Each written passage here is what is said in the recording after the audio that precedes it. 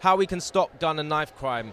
I say by stopping gun and knife crime, what we should do is focus on the solution and not be promoting guns and knives in a sense.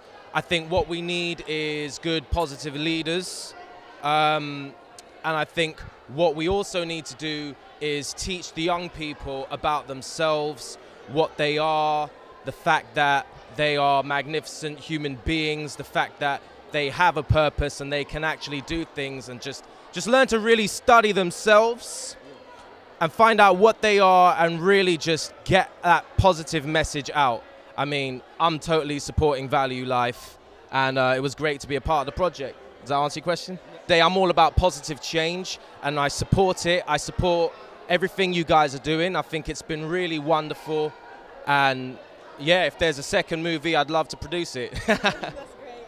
All right. Cool. Right, thank you. That's Samuell Benta.